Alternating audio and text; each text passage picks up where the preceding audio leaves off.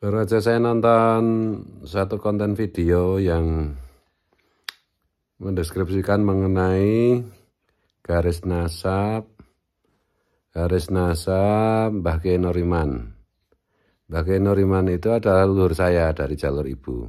Jadi ibu saya Siti Muyasaratul Makosid itu binti Kiai Sangidu Melangi yang dimakamkan di Wonokromo itu ya.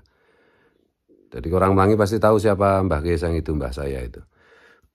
nah dari situ dan Mbah Gesang itu pula yang terakhir memegang kia apa keris warisan dari Mbah Kiai Nuriman.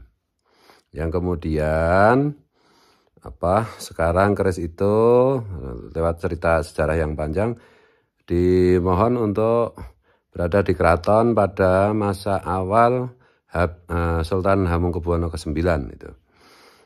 Jadi keris Mbah Kiai Nuriman itu terakhir yang memegang kakek saya, bapaknya ibu saya.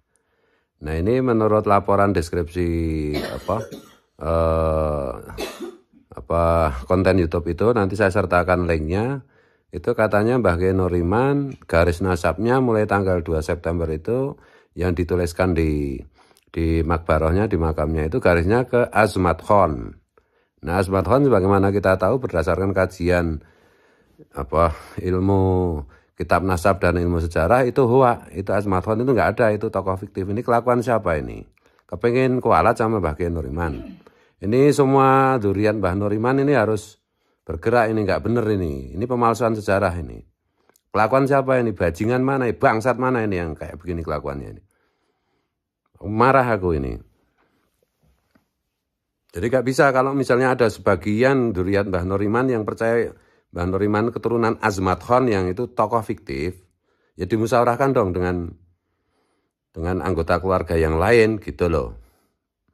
Ini siapa ini kelakuan siapa? Saya dengar-dengar juga dari kemarin ada keturunan Mbah Nuriman juga yang dimelangi yang ya dia itu nggak berani ngomong gitu bahwa makam makbarohnya Mbah Nuriman itu sudah mulai dikuasai oleh bukan duriannya Mbah Kiai Nuriman gitu.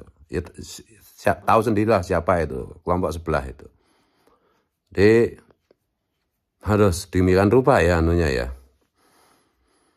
Jadi saya ingatkan, siapa yang bermain-main dengan leluhur saya, ya pasti kualat itu, pasti kualat. Siapa yang bermain-main dengan garis keturunan nasab wali songo tanpa dasar pada data ilmiah, kajian nasab yang ilmiah, dan kajian sejarah yang ilmiah, pasti celaka, pasti kualat saya jamin. Jadi bertobatlah sebelum azab Tuhan turun.